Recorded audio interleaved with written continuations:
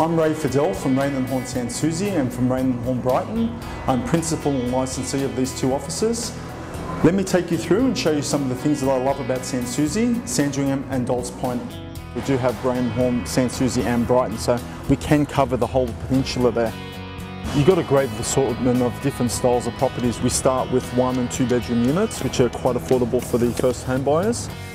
When you come down Sans Souci, a lot more sort of families and people upgrading from smaller type homes that they can't find good value in the eastern suburbs, come down this way and just are blown away by our pricing here, surrounded by beautiful waterfronts. You've also got villas, which is very attractive, the one level sort of villa homes for people that are looking to downsize, especially around that sort of Sandringham, even into Ramsgate, Ramsgate Beach area. Some of the beautiful homes is this lavish home that you see here down on Botany Bay in Sandringham. You've got properties up to five, six million dollars in the area. So, you know, from that perspective, it, it's such a broad section and that's why I love selling real estate around here. Thank you for coming along on this tour of Sans Souci, Dolls Point and Sandringham.